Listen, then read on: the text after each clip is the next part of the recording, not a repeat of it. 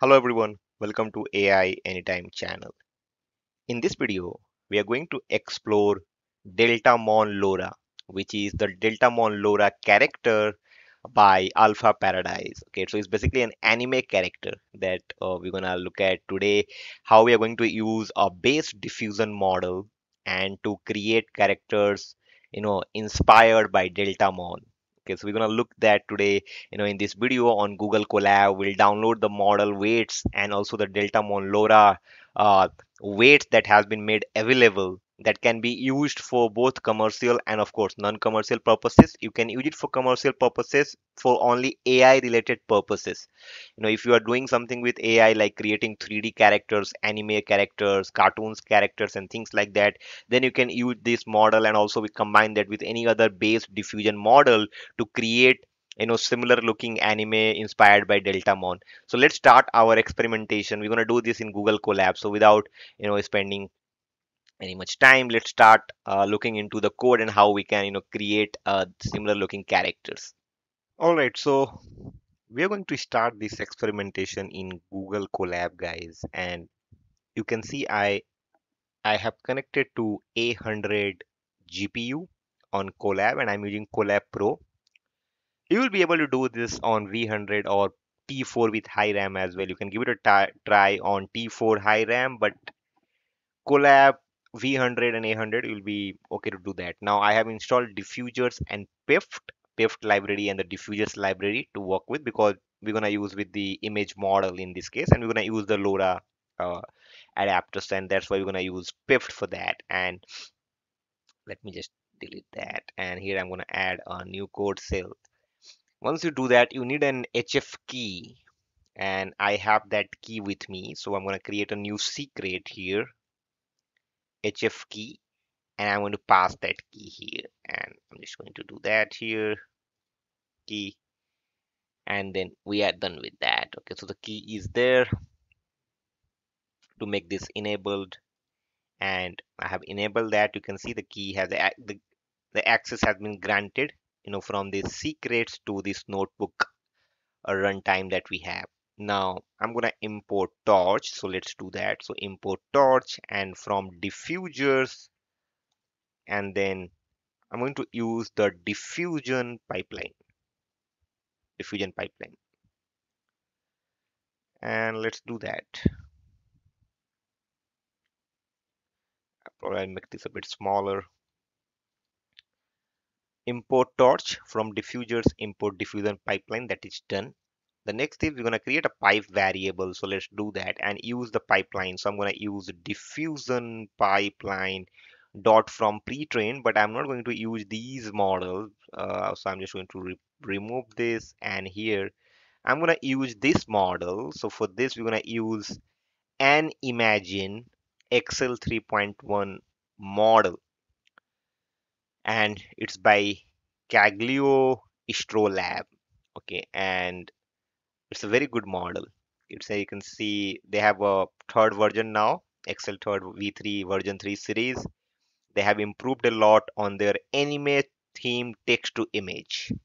Very good as, as i told earlier you know about japanese industry where we have more you know in japan and you know also in some part of korea we see a lot of anime you know like this. So in japan you will see a lot of anime cartoons and all of those. I'm, I'm not a fan but you know I, I have seen a lot of people doing that. And and probably if you're working of some kind of 3d models for these anime and all these kind of models are really helpful you know. And you can find it out everything over here. So that's what i'm going to do. But again we're going to use the uh, deltamon okay that's our target. Okay so let's first get get this model here. Copy the path. Take a bit of time to download the weights and everything. So what i'm going to do next is define a data type of the torch. So torch underscore d type. I'm going to use the float 16 so torch d type. And this is going to be torch dot float 16 so let's do that here. And after that just use safe tensors. Okay so I let, let me gonna pass safe tensors. And that should be true. It's a boolean value. And then we're gonna bind that with CUDA okay so 2 and then we're going to write CUDA here just to make sure we are utilizing the GPU Now this takes a bit of time, guys. It has to connect with Hugging Face, gets everything, you know, and you can see it's downloading a lot of files, around 1.39 gigabytes, 246 MB, one, you know, again here coming in. So it will download here 5 GB and all of those things you can see. Now after that we're gonna download deltamon for that. Let me go to my github and let me go to my gist. By the way this is my github repository. We have crossed 1k follower. Thank you so much for following the github repository. Guys as you can see we have around more than 200 repositories. Of course there are some private repositories but you know you can find everything almost everything with ai generative ai in this github. You can just go ahead and take that. Now i'm gonna take the path. Uh, let me just copy this thingy from here I'm going to download Deltamon LoRa here. So let me just give a text and write download Deltamon LoRa. Okay, and then I'm just going to pass that here wget do that and you know it will download the files and everything so let me just add and now let's go to file here file viewer and you can see we have our deltamon beta dot safe tensors okay around this size which is saved here. Okay we can refresh that. This is where it has been saved. Now after that we're going to load the LoRa weights. Low rank adaptation. I have a lot of videos on that. You can watch that in my fine tuning playlist. Uh, loading LoRa weights. Okay. Now here we're going to use the pipe variable that we have initiated on top and then I'm going to use the LoRa weights class. Okay function. Uh, LoRa weights no load LoRa excuse me. Load LoRa weights and as this is just here in the repository you can just keep a dot or something and define the weight name. So sad it doesn't show you anything. And the weight name is nothing but the deltamon whatever file name that we have deltamon underscore beta and dot safe tensors.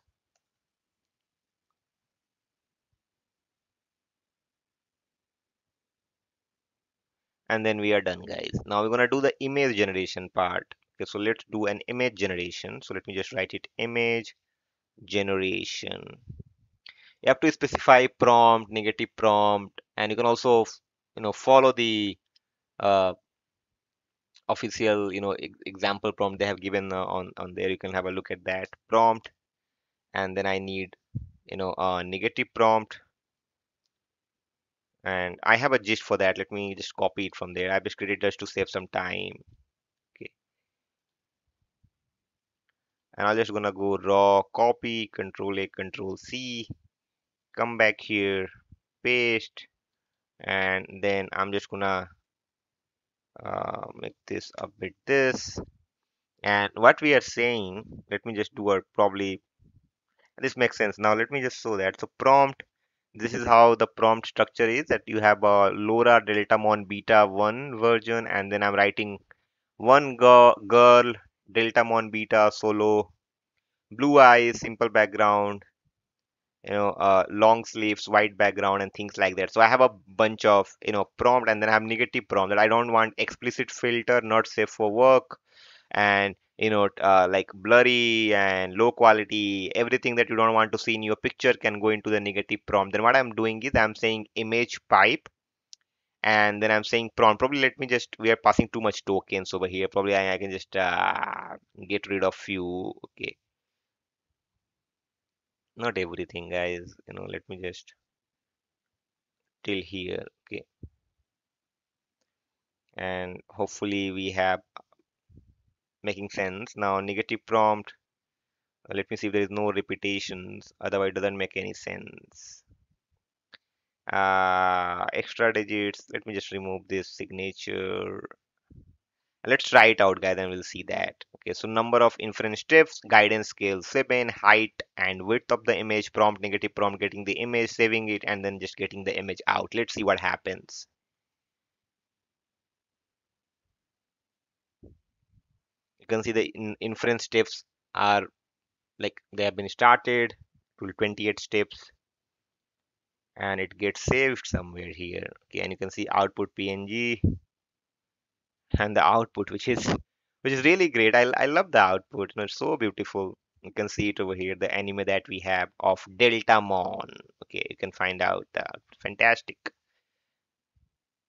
Now this is how you can you know generate uh, anime using this model and also the uh, Deltamon icon the character if you get any error guys regarding the token length exceeded or something because diffuser has some limitations you know with the number of input tokens for a text to image generation model then you can use this library called Compel. Okay i'm not gonna probably cover this in this video but you know you can you can uh, not Compel by the way it's el you can have a look at that library. It's a very good prompt enhancement library for transformers type text embedding system that basically helps you with the truncations embeddings and pooling kind of techniques to basically you know uh, enhance your prompt and you can even you know consider the larger uh, token window when we are putting that in an input.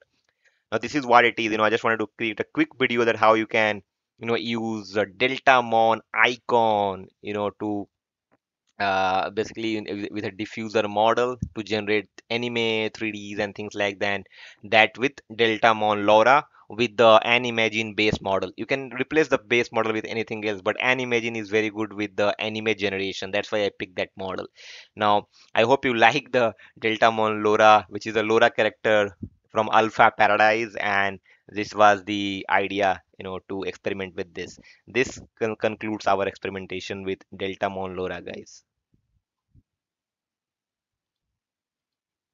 That's all for this uh, video guys. I hope you got a bit of idea that how you can use uh, uh, like a weight or a LoRa adapter or a LoRa weights. And uh, for of course this was for Deltamon but you can do it for any others as well if that is available. Combine that with a base model and text to image generation model and then you can create uh, animes icons 3d icons and similar artifacts if that model is compatible and supports that. This notebook will be available on my github repository. You can uh, find the link in the description of the video. And uh, if you have any questions thoughts or feedback please let me know in the comment box. You can also reach out to me through my social media channels. Those information are available on channel banner and channel about us. If you like the content i'm creating please hit the like icon. And if you haven't subscribed the channel yet do subscribe the channel. Share the video and channel with your friends and to peer. Thank you so much for watching. See you in the next one